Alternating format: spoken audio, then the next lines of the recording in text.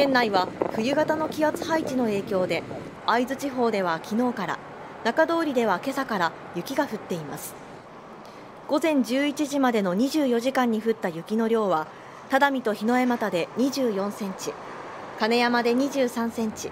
福島で5センチなどとなっています。日中の予想最高気温は福島で4度郡山で3度と平年よりも低くなっていて JR 福島駅前ではマフラーをするなど暖かくして歩く人の姿が見られました。会津では明日の明け方まで雪が降る見込みで気象台は雪崩に注意するよう呼びかけています。